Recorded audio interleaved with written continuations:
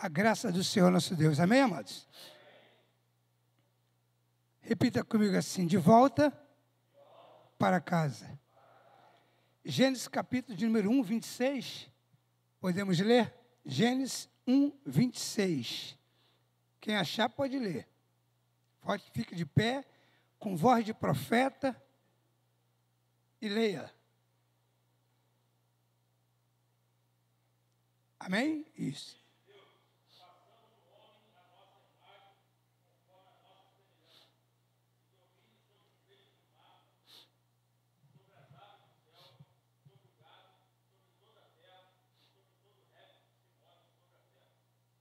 Amém. Eu não sei porque Deus nos ama, mas só sei que Ele nos ama e muito. E Ele tem um projeto maravilhoso para nós. Salmo 115, 16 diz que os céus e céus e céus pertencem ao Senhor, mas a terra deu Ele aos filhos dos homens. E o complemento deste verso diz que Deus colocou o homem com uma incumbência maravilhosa: é crescei-vos, multiplicai-vos, enchei a terra, sujeitai-a, dominai. Que coisa maravilhosa. Mas nós temos uma história de uma queda do homem. E o nosso objetivo nesta noite é falar sobre o seu regresso ao estado perfeito e original. Para usar como modelo disto, nós queremos usar a pessoa nada menos de que Jesus Cristo. Se você abrir a sua Bíblia no livro de João, capítulo de número 17, o versículo de número 24, no versículo número 4 está escrito assim: Pai, glorifiquei o teu nome na terra, concluindo a obra que me deste a fazer. Agora volta a dar-me aquela glória que eu tinha contigo antes que houvesse mundo. É o pedido de Jesus ter o retorno da glória. Glória que por humildade e por amor a nós, segundo Filipenses capítulo 2, verso 5 em diante, ele se esvaziou. Se esvaziou e se fez pouco menor do que os homens. Tirando aquela glória por humildade, para fazer o serviço da vontade do Pai.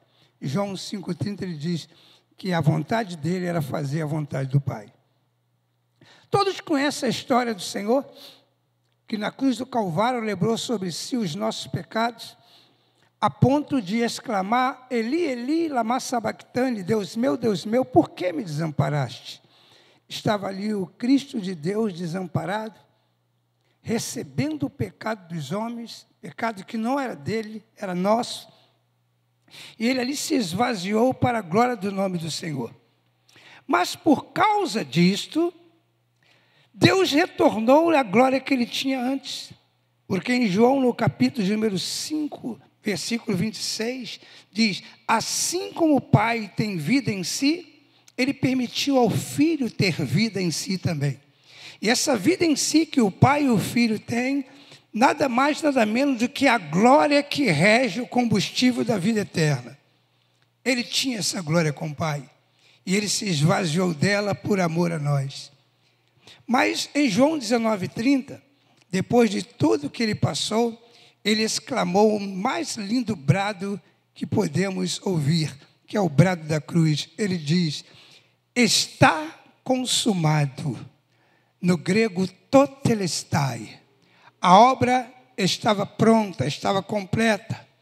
Agora ele tinha a possibilidade de fazer aquilo que o Pai ordenou que ele fizesse e resgatar, vir resgatar os homens daquele estado decaído que os homens estavam. E a Bíblia nos afirma ainda, que em, em Salmo capítulo 24, verso 7, que os portais eternos se abriram. Abre os portais eternos para que entre o Rei da Glória. Quem é o Rei da Glória? É Jesus, é o nosso Senhor. E ele voltou para a glória. E certamente os céus se abriram porque nós, abrindo a Bíblia em Apocalipse, capítulo de número 5, versículo de número 10 e 11, que é o ambiente divino de adoração, no 4, Deus é adorado como Criador, e no 5, Jesus é adorado como Redentor. Eu gostaria que vocês lessem participando comigo. Apocalipse, capítulo 5, versículo 10 e versículo 11, que nos revela o retorno para a casa de Jesus, devolvendo Deus a ele novamente aquela glória que ele tinha com Deus antes que houvesse mundo. Pode ler para mim, por favor? Bem alto. Apocalipse 5, 10 e 11. Bem alto de pé, para todo mundo ouvir. Vamos lá.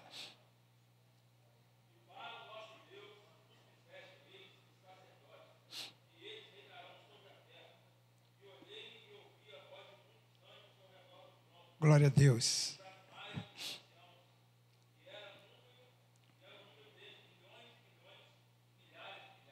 Adorando ao Senhor como grande redentor. Diga comigo, repita comigo assim: Jesus, cheio de glória, destituiu-se da sua glória por amor a nós, cumpriu a obra na cruz do Calvário e retornou para a glória que ele tinha com o Pai. Você pode adorar o Senhor por isso? Ele retornou. Esse é o nosso preâmbulo para aquilo que desejamos ministrar na noite desse dia. Diga comigo assim: eu também estou voltando para casa. Aleluias, aleluias. Já entendeu? Eu também estou voltando para casa. O verso que nós lemos, Gênesis capítulo 1, 26, diz o quê? Que o Senhor nos criou. E Ele nos fez sua imagem e semelhança. A imagem e semelhança no hebraico é semes demes. Significa, Deus nos fez como Ele é em santidade, para ser como Ele é e fazer como Ele fez. A imagem e semelhança é ser como Deus é, santidade. Fazer como Deus fez, justiça, apontando a cruz. Por isso que lá em Hebreus capítulo 12, verso 14 diz: sem a santificação, sem o semestre, ninguém verá o Senhor. E em Mateus capítulo 5, verso 20 diz: se a vossa justiça não excederem muito a dos escribas e fariseus, de maneira nenhuma entrareis no reino dos céus. Deus está devolvendo a nós a imagem e semelhança que nós tínhamos com ele através do Messias. Em Gálatas capítulo 4, verso 19, Paulo diz assim: Sofro dores de parto, até que Cristo seja plenamente gerado em vós. Tal como Maria ficou grávida do Espírito Santo, nós todos cristãos estamos grávidos do Espírito Santo. Em 1 Coríntios, no capítulo 3, versículo 16, diz: Não sabeis que sois de Deus e que o Espírito de Deus habita em vós? O que, que o Espírito está fazendo em nós? Está nos gerando novamente, ele está nos conduzindo para um novo nascimento. Que Jesus disse para Nicodemos em João capítulo 3, 3 a 5: Se não nascer de novo da água do Espírito, jamais entrarei no reino dos céus. Diga comigo assim: o Espírito Santo está gerando Cristo em mim. Sabe qual é o objetivo? Gálatas 2,20. Diga comigo. Ele quer que eu chegue à altura de varão perfeito, quando não mais viverei eu, mas Cristo viverá em mim. Aleluia. É isso que o Espírito Santo está fazendo, todo dia. Trabalhando dentro de nós, nos convencendo do pecado, da justiça, do juízo, de todas as coisas e adornando as nossas vestes para o grande encontro com o Mestre de volta para casa. Deus fez o homem como coroa da sua criação. Como é culto dos homens, fala bem baixinho uma coisa, mas nós somos produto direto de Deus. O Senhor nos formou do pó da terra e soprou sobre as nossas narinas o fôlego de vida, e o homem passou a ser alma vivente. Note bem que há muita diferença entre a nossa responsabilidade e a responsabilidade das varoas. muita responsabilidade. Quando Deus mandou o homem dominar sobre todas as coisas, muito tempo depois que ele vai criar a mulher. E Deus criou a mulher porque ele criou todos os pares de animais, todo mundo tinha pai o homem não. E é por isso que ele, quando tomou a mulher nas suas mãos, ele disse: Agora sim, essa é osso dos meus ossos. Não quer dizer que a outra como Lilith, que eles inventam de mitologia, não. É que agora ele tinha uma companheira como tinha todos os machos tinham suas fêmeas. Mas não foi feito do pó e nem recebeu o sopro.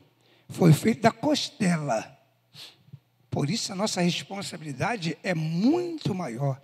Deus não condenou ninguém quando a Eva pecou. Só quando Adão comeu que Deus chamou a atenção. Quando Eva pecou, não. Mas quando Adão comeu, Deus chamou a atenção. Porque o homem é a coroa da criação de Deus. Ele deu a terra para que os homens pudessem tomar conta dela. Mas o projeto tornou-se maior ainda. Porque através de Jesus o Senhor falou assim: Pai, João 17, eu quero que este que tu me deste esteja comigo na glória. Por pedido de Jesus, alguns resgatados da terra vão voltar para a glória celestial. E ele ainda diz assim: Não rogo pelo mundo, mas rogo por este que tu me destes. Nós vamos entrar no céu através de Jesus. É uma concessão de Jesus. O homem foi feito para morar na terra.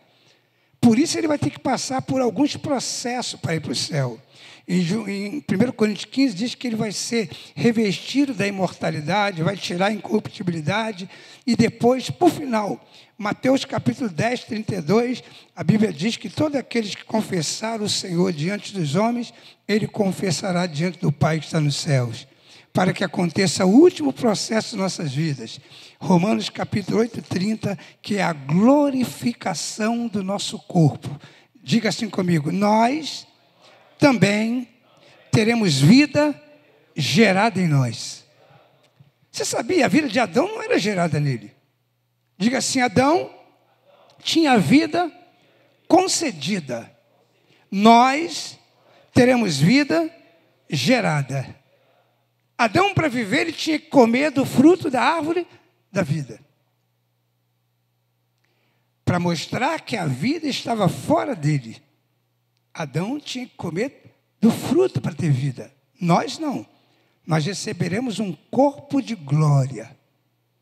1 João 3,2 diz que nós seremos semelhante a Ele.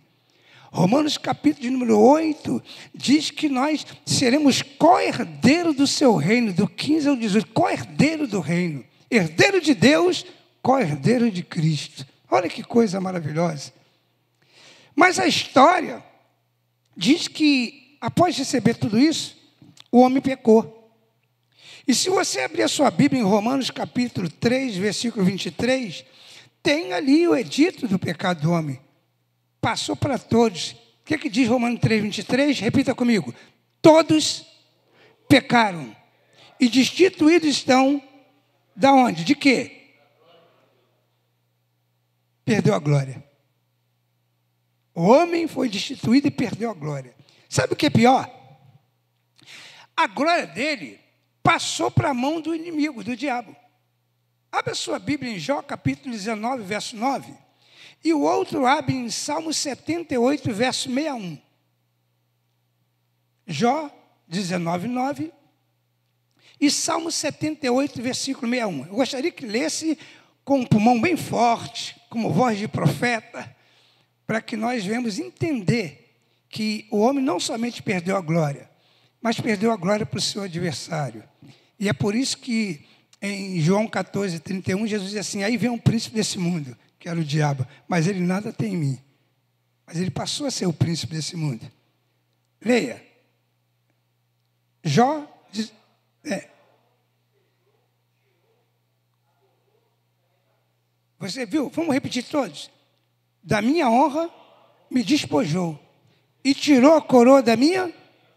Vocês entenderam? O homem foi feito em mais semelhança de Deus. Mas com o pecado ele foi destituído da glória de Deus. E o que que fez isso? Fez com que ele tirasse a coroa. Coroa é o domínio. Domínio sobre todas as coisas. Tirou a coroa. despojou. Sabe o que é pior? Salmo 78, 61, leia. Salmo 78, 61. Salmo fica depois de Gênesis e antes do Apocalipse. Ajudou? Vamos lá, gente.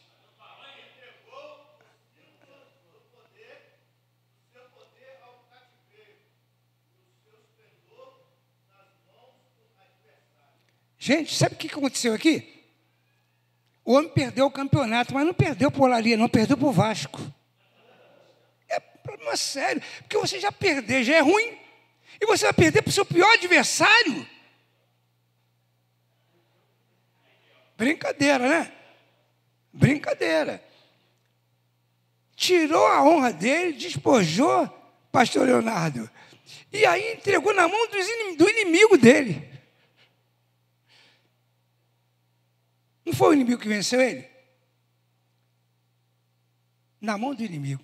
Tudo aquilo que o homem ia fazer, o diabo passou a comandar. O homem tinha que dominar tudo. Agora o inimigo passou a dominar tudo.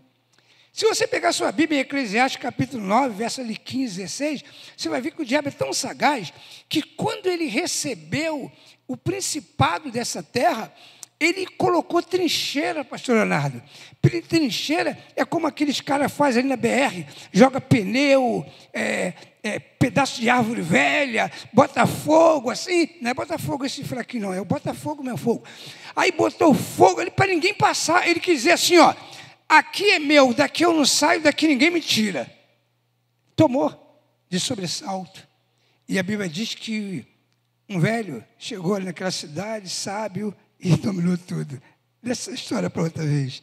Mas ele dominou, isso aqui é meu. Mas Jesus garantiu que não é dele. Quando lá em Mateus capítulo 16, Jesus disse assim comigo, repita comigo, as portas do inferno não prevalecerá contra a igreja do Senhor. Vale um glória a Deus? Vale um glória a Deus? Isso, vamos aplaudir o Senhor. Não, ele tomou, mas o Senhor nos deu poder. As portas do inferno não prevalecerão. Mas ele tenta. Ele tenta aprisionar todos ali. Daqui não sai meu. Quem já expulsou demônio sabe disso. Quando vai expulsar demônio, muitas pessoas não é meu, é meu cavalo, é meu nada. Em nome de Jesus sai tudo. Mas ele tomou trincheiras, porque ele havia vencido o homem, o Adão. Só que esse Adão foi substituído por um outro Adão, o segundo Adão. Diga assim: glórias ao segundo Adão. Aleluia. Temos de levar a imagem do segundo Adão. 1 Coríntios capítulo 15, 45 a 50 diz: Assim como trouxemos a imagem do terreno do primeiro Adão, assim temos que trazer a imagem do celestial, o segundo Adão. Viu a imagem? O Espírito, diga assim, o Espírito Santo está gerando essa imagem em mim. Vamos falar qual é a diferença da redenção para a remissão. Alguém sabe a diferença da redenção para a remissão? Então vamos lá. Diga assim comigo assim: a redenção foi operada por Jesus Cristo na cruz. Redenção é pelo sangue. Redenção significa o ato de pagar a dívida de outrem. Diga assim: as minhas dívidas já estão pagas. Posso te dar uma notícia? Diga comigo assim: a dívida do homossexual, da lésbica, do bandido, está paga. Porque isso é o pecado racial. Assim como o pecado entrou na raça por causa de Adão, o pecado racial foi absolvido em Cristo. Romanos capítulo 5, verso 8 a 10. Ninguém vai para o inferno por causa do pecado racial. Porque Jesus Cristo já pagou a dívida. O Evangelho é isso: é anunciar aos perdidos que ele já tem a dívida paga.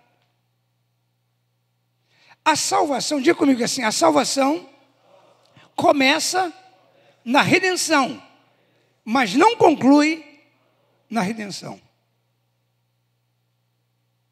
A Bíblia diz em Efésios 2,19: somos salvos pela Graça. E quem opera a graça de que maneira é operada essa graça? Como é que se opera a graça? A redenção se opera pelo sangue. A graça se opera pela remissão. Remi. Por isso que alguns textos assim, redimido e outro remido. A remissão, diga comigo, a remissão é o ato de voltar para o estado original. Quem pagou o preço na cruz foi Jesus.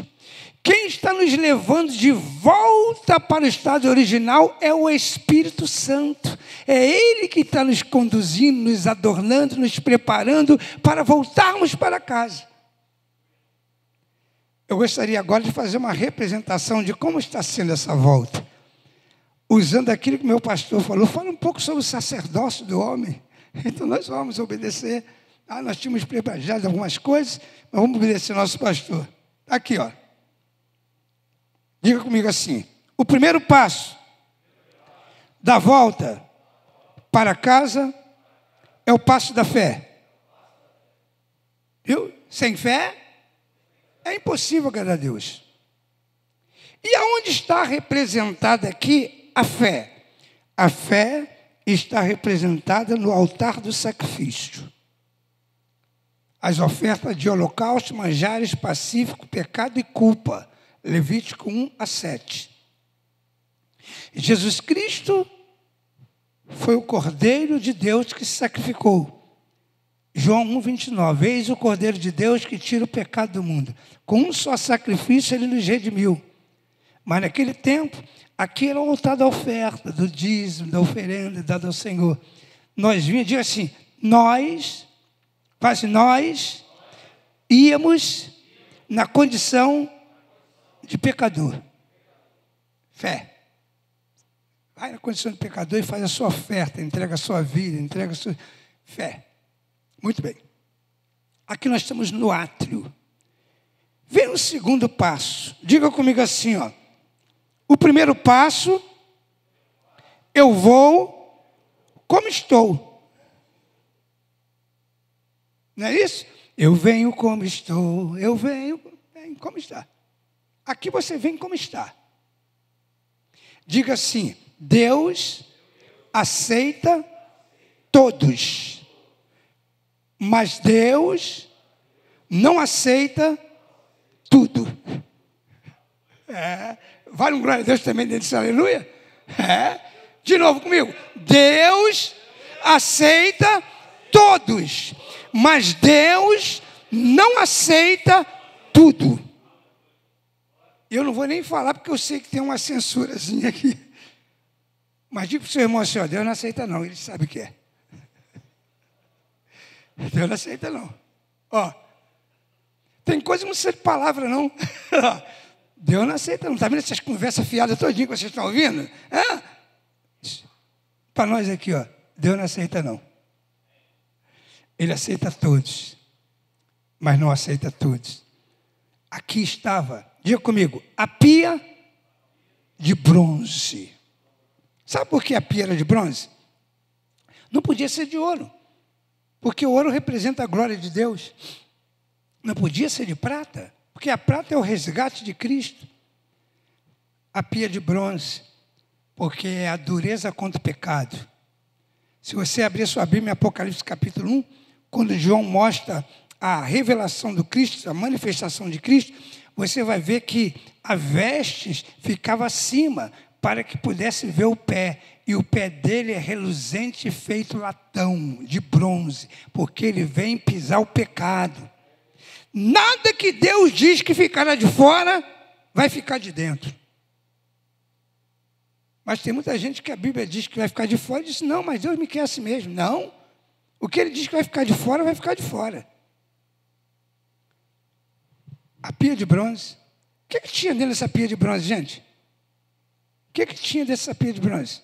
Aqui é o passo da fé, da oferta. Dentro dessa pia de bronze tinha o quê? Diga comigo assim, cheia de água. Água limpinha. Porque o sacerdote não sujava a mão aqui no, no nosso pecado, hein? Ele não oferecia o pecado, ele não pegava ali ó, as ofertas? É ou não é? Aí como é que ele vai entrar no lugar santo com a mão suja? Para entrar no lugar santo, aqui tem um véu, tá? Vocês não estão vendo, mas aqui tem um véu. Antes de entrar aqui, aqui o átrio, aqui tem um véu para o lugar santo. Ele tinha que lavar as mãos na pia, que é justamente isso. Eu venho como estou, mas o Espírito está me lavando a cada dia pela palavra de Deus. João capítulo 8, 32 diz: E conhecereis a verdade, e a verdade vos libertará. A verdade é que Deus aceita todos, mas não aceita tudo. Passamos o primeiro véu. Tem um véu aqui. Vamos para o terceiro passo. O terceiro passo fica aqui do lado direito. Já dentro do véu. Diga comigo assim: a mesa dos pães da preposição. Em João 17, 21, o Senhor diz assim: Pai, que eles sejam um, assim como nós somos um.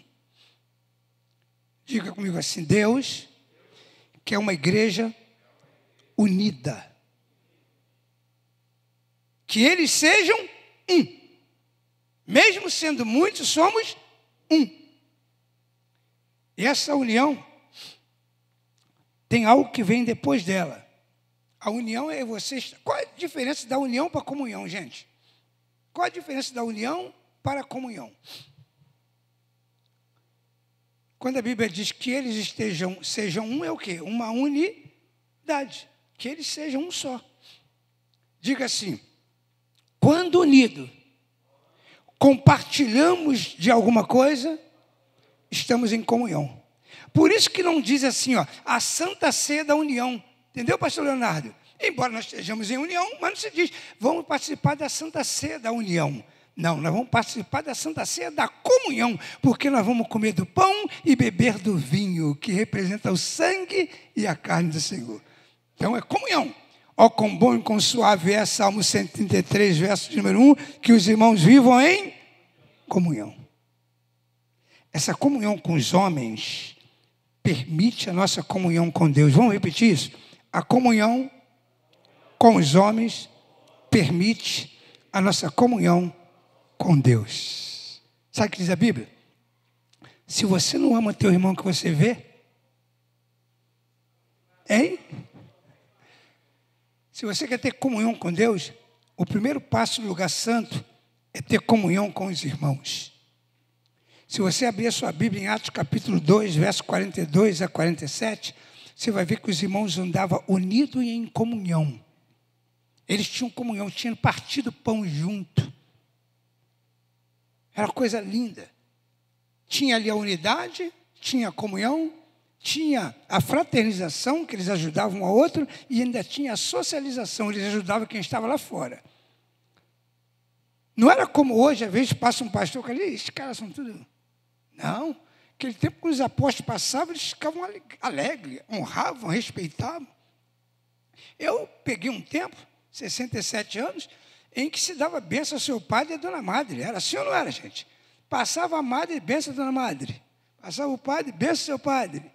Hoje em dia, nem o pastor se dá um benção mais. O negócio está feio a coisa. Eu, essa semana, eu fui fazer uma compra e falei para o rapaz assim: não, isso aí é para a igreja, pastor. Ele falou, pastor, eu vou fazer o que eu te conheço, não é porque é pastor, não. Tem muitos pastores deixando a desejar aqui, não pagando o que deve. Vergonha, né? Aí vai perdendo, mas Deus não chamou a gente para isso, não. Diga assim: nós estamos indo de volta para casa. Cada dia melhor, cada dia mais parecendo com Cristo, mais semelhante a Jesus. Não pode ter regresso. Nós, ao passarmos na rua, deveríamos ser louvados pelas pessoas, dizer assim, oh, pastor, ali vai um homem de Deus. Não é assim que a mulher falou?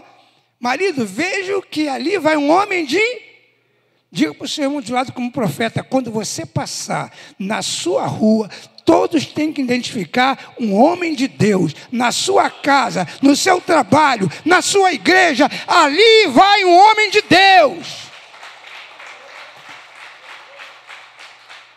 Não aceite esse negócio, não. Não olha para mim, não, porque, porque eu sou pecador. É para Cristo. Não aceite esse negócio, não. Paulo diz assim: olha para mim. Tudo que você vê eu falar a meu respeito, tudo, faça. Nós não somos fariseu nem nada, é fariseu que Jesus falou. Faça o que eles falam, mas não faz o que eles fazem. Mas nós não. Nós temos de olhar para nossa esposa e dizer assim: olhe para mim. Olhar para os nossos filhos e dizer assim: olhe para mim. Olhe para mim que eu te amo como Jesus mandou te amar, a igreja. Olhe para mim porque eu tenho honra e respeito para contigo.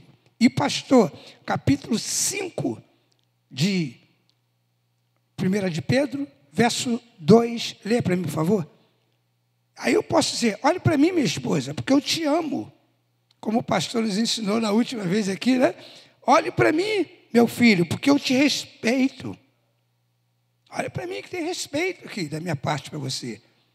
Mulher, eu te amo. Filho, eu te respeito, eu te ensino o caminho da verdade, eu te dou exemplo. Agora eu quero que o Leonardo leia aqui o do pastor, 1 de Pedro 5, verso de número 2, talvez um pouquinho 3. Aí você pode dizer: olhe para mim.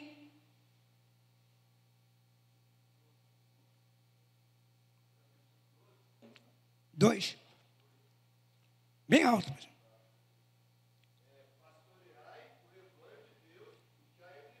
Hum.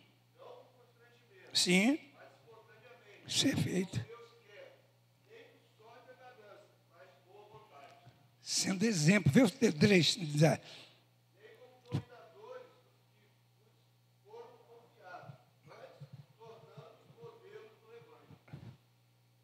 Guarda isso aí. Guarda isso aí. Modelo. Não por constrangimento, por torpe ganância.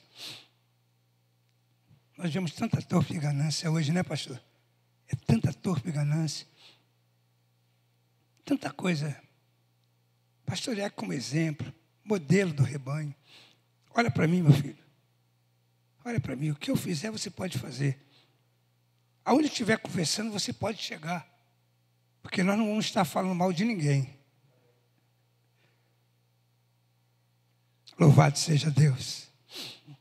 Amados, diga comigo assim: muitas pessoas, no caminho de volta para casa, pula o caminho da comunhão com o irmão. Fala, pula o caminho da comunhão com o irmão. E quer ir primeiro com a comunhão com o Espírito Santo. Já viu isso? Vai para monte, vai para vigília. Não trata ninguém bem na igreja. Mas só viu no monte, na vigília, na consagração, orando.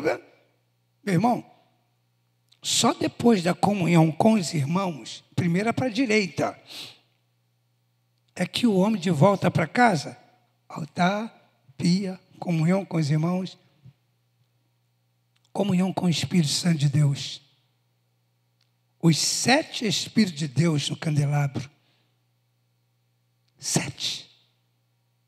A Bíblia tem quatro, cinco versículos que falam sobre os sete Espíritos de Deus. E esses sete Espíritos de Deus representam a plenitude do Espírito Santo. Em Efésios 4,30 diz: Não entristeçais ao Espírito Santo. Em né, Tessalonicenses 4,30, me parece. Em Efésios 5,18 diz: Enchei-vos do Espírito Santo. Diga comigo assim: não entristecer, mas encher. Agora entra de novo, Leonardo, meu querido pastor. Tem algo tremendo aqui, ó, para isso aqui, ó. Era a única luz que brilhava, porque não tinha janela. Então aqui vinha a luz. Sem o Espírito Santo, os sete Espíritos de Deus, não tem luz na nossa vida. Mas aqui, diga comigo assim, ó. Nos castiçais tinha um tição feito pela. pela como é que então? Chico tinha o nome daquilo, como é que é? Um lampião tem? Como é que é aquela? Hein? Pavio. Tem até um hino na Assembleia que diz assim: não deixa apagar o pavio que fumega. Está lá. Ó. Diz assim: todo sacerdote precisa ter uma espevitadeira. Ela é de ouro, viu? Aí, às vezes, o azeite ficava meio preso no tição. Aí não saiu o brilho legal. Você lembra da parábola das virgens? Todas elas tinham azeite, mas estava faltando na reserva, porque o vaso pode estar rachado, o vaso pode estar quebrado, o azeite pode estar velho. Diga assim: Senhor, eu estou voltando para casa, renova o meu azeite na noite desse dia. Renovar o azeite. Aí, quando estava ali meio apagado, sabe? O, o sacerdote vinha com a espivitadeira de ouro e. Aí a luz subia. Irmão, quantos crentes às vezes estão apagados? Ele tem azeite, tem pavio, tem fogo, mas está faltando alguma coisa. Diga assim, Espírito Santo, passa o pavio, espivitadeira e faça que eu brilhe novamente. Tem que ser alguma coisa que está impedindo. Sabe o que estava impedindo Isaías ver a glória do Senhor? O rei Uzias. No ano em que morreu o rei Uzias, eu vi a glória do Senhor. Quem sabe você precisa matar o seu Uzias? Aquilo está dominando a sua vida. Um vício, alguma coisa está te afastando de Deus, que não tem vontade de ler Bíblia, de orar. Peça ao Espírito Santo para passar o pavio, porque você está voltando para casa e você tem que brilhar cada vez mais. A Bíblia diz que nosso caminho é como a luz da aurora, que brilha mais e mais até ser dia perfeito. Tem que brilhar. Segundo Coríntios 3, 18, que é de glória em glória. Tem que ir brilhando. Tá? Então, quando você chega aqui, você recebe a unção da comunhão com o Espírito Santo. Você e o Espírito Santo. Olha que benção. Comunhão com os irmãos comunhão com o Espírito Santo. Tem aqui a quinta cadeira. Quem sabe que quinta cadeira representa. O que, que representa essa quinta cadeira? Ainda nesse véu, o que, que representa essa quinta cadeira? Essa cadeira que está aqui representa o quê? Diga comigo, o incensário. Às vezes a igreja manda orar, pastor Leonardo manda orar, pastor Robson manda orar, e você, mas tanto fala de oração, que importância tem essa de oração? Depois do sacrifício, da pia, da comunhão com os irmãos, da comunhão com o Espírito Santo, antes de entrar no Santo dos Santos, você precisa passar no incensário. O incensário representa a vida de oração. Atos 6,4 diz que o pastor deveria estar voltado para a vida da palavra e da oração. Olha bem, aqui estava algumas especiarias, três em especial. Diga comigo aqui: estoraque, estoraque, onisha e gálbano. Eram três especiarias diferentes que representam uma oração profunda lá de dentro. Lá de dentro. Deus quer que você o adore em espírito e em verdade, com sinceridade, com pureza de coração. No livro de Tito, que fala como deve ser a igreja do pastor, tem dois versos que caracterizam o que nós temos de ter como base para, ser, para uma igreja. Primeiro, Tito 1,5. Tudo é puro para os puros. Crente tem que ter pureza. E segundo, Tito 2,13, aguardando ardentemente a sua vinda, cheio de pureza e aguardando a vinda do Senhor. Nós estamos voltando para casa, o Espírito está nos conduzindo para isso. O altar da oração. Diga comigo assim: Deus não faz nada senão em resposta à oração. Você tem uma garantia, Salmo 65, verso 2 diz assim: Ó tu que ouves orações, a ti virão todos os povos. Nós vamos até o Senhor, porque o Senhor recolhe as nossas orações.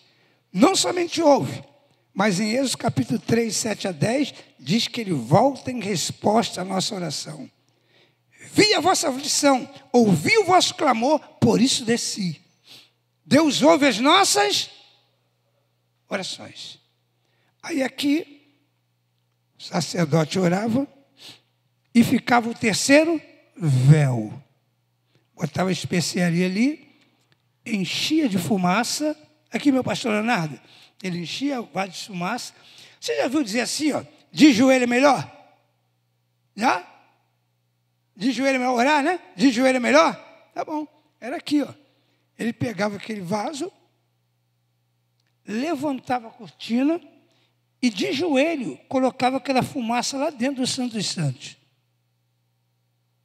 Lá dentro do Santo dos Santos. Ele colocava a fumaça. Alguém sabe dizer por que, que ele colocava aquela fumaça dentro dos Santos dos Santos?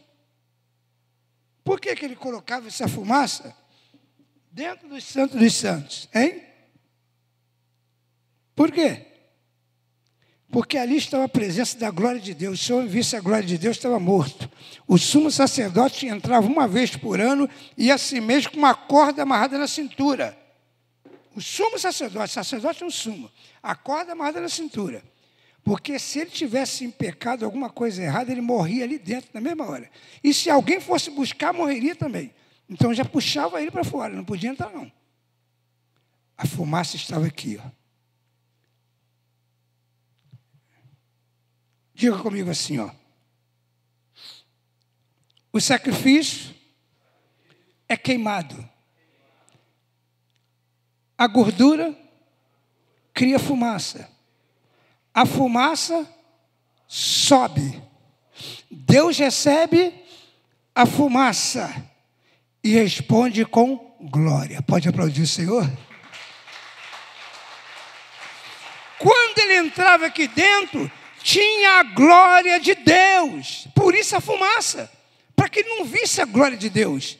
Aquela fumaça misturava. Para que não pudesse ver. Por que não podia ver? ver? Porque o sacrifício não tinha sido feito na cruz ainda. Era só protótipo, era só anúncio.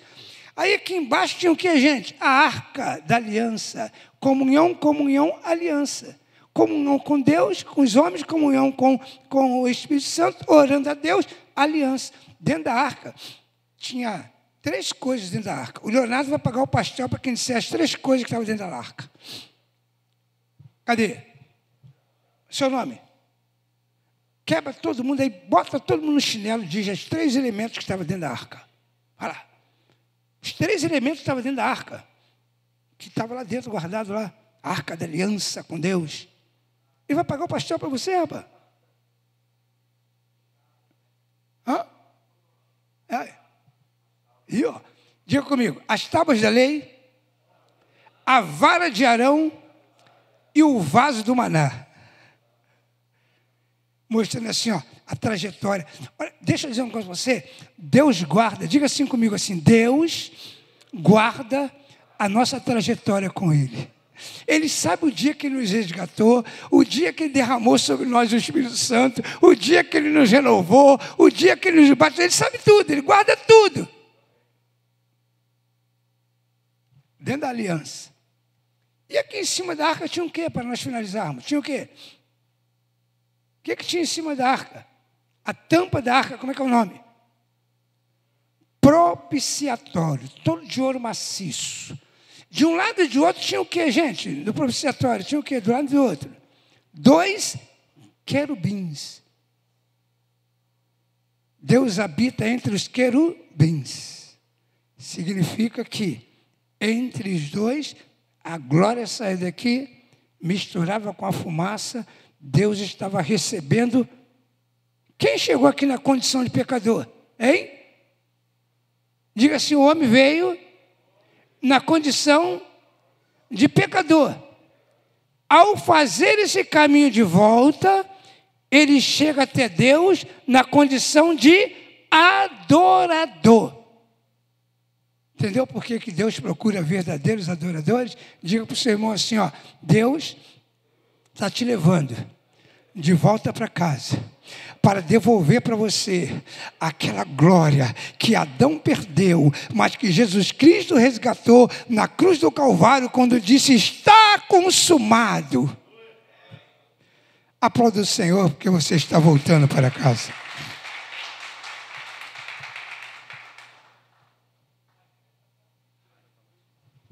Glória a Deus, queridos. Foi uma pregação ou foi uma aula? eu, eu fiquei ali, vou anotando e vou anotando, e toda vez que falava eu estou anotando. Mas foi uma aula realmente, né? Voltando de, de volta para casa e com a glória, glória do Pai, né? Vamos cantar mais um louvor, pessoal do louvor, por favor. Depois nós vamos